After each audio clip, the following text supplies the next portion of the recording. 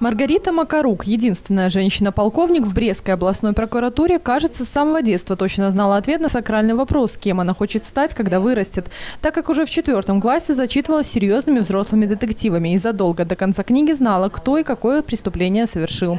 А потому будущая профессия, можно сказать, была предопределена с рождения, и уверенный подъем по карьерной лестнице от должности секретаря-машиниста до начальника отдела прокуратуры Брестской области по надзору за дознанием не кажется чем-то удивительным и не необычным. Работая уже секретарь-машинисткой в прокуратуре Московского района, я поняла, что это мое.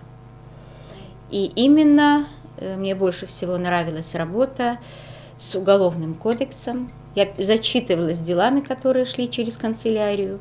Ну, в последующем я стала зав канцелярии, я еще более с ними стала связана, с материалами проверки где наши следователи выезжали по факту смерти. Все это мне было очень довольно интересно. Принципиальность и профессионализм, холодная голова и стремление всегда и во всем следовать букве закона. Такие качества создают образ строгого и требовательного начальника. Но эта требовательность в случае с Маргаритой Макарук вполне обоснована. Она и сама всегда стремится к совершенству и от подчиненных требует того же. Ведь от их работы каждый день зависят десятки судеб, и ошибки здесь особенно фатальны. Но коллеги по работе признаются, что несмотря на всю твердость характера, а может быть именно благодаря этому Маргарита Константиновна надежный друг и товарищ, человек, на которого всегда можно положиться.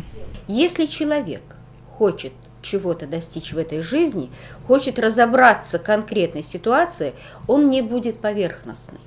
Он будет изучать досконально полностью все. И подведет под любую проверку. Закон посмотрит, соответствует это закону, не соответствует. Посмотрит практику. То есть все приходит с годами. Есть желание человек научится всегда.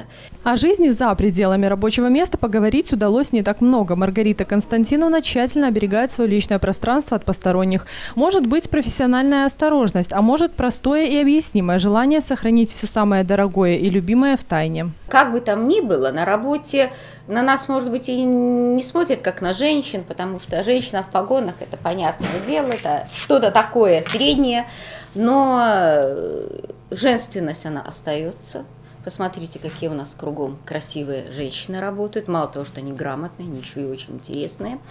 И я им хочу сказать только одно, чтобы каждая наша девушка, если она приходит в органы прокуратуры, ребятам здесь проще. Во-первых, их и ценят, как всегда, мужчин больше.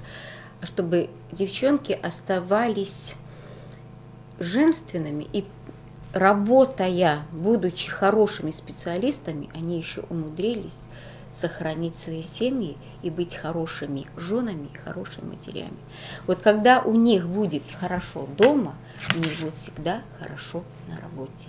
Порой кажется, что дипломы на стене кабинета или фотографии на доске подсчета, все эти атрибуты успешности не имеют для Маргариты Макарук огромного значения. Приятно, но не дает права останавливаться и почивать на лаврах. Она уверена, что человек никогда не может называть себя абсолютным профессионалом. Процесс обучения продолжается всю жизнь. И Маргарита Константиновна действительно не останавливается на достигнутом, что является еще одним доказательством любви к делу всей ее жизни.